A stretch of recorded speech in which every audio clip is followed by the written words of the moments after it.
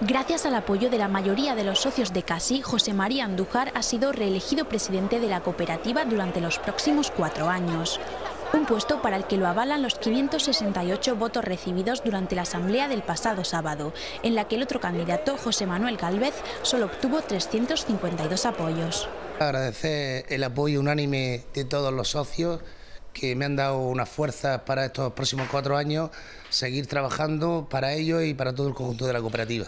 El proyecto de Andújar para los próximos cuatro años tiene como objetivo convertir a Casi en la mayor cooperativa de tomate de la provincia y consolidarse como referente en el mercado, tanto por la calidad del producto como por los precios competitivos. Los retos más importantes es seguir modernizándonos, adaptándonos a los retos del mercado y acometer esa serie de inversiones que tenemos en camino para que la cooperativa siga creciendo y seguimos la línea de la comercialización eh, directa. entonces, pues para poder acometer todas esas demandas de productos, tendremos que incrementar en instalaciones y, y también maquinaria. Así, José María Andújar afronta una nueva legislatura al frente de Casi, con un proyecto ambicioso en el que espera continuar con la línea de beneficios de las últimas campañas.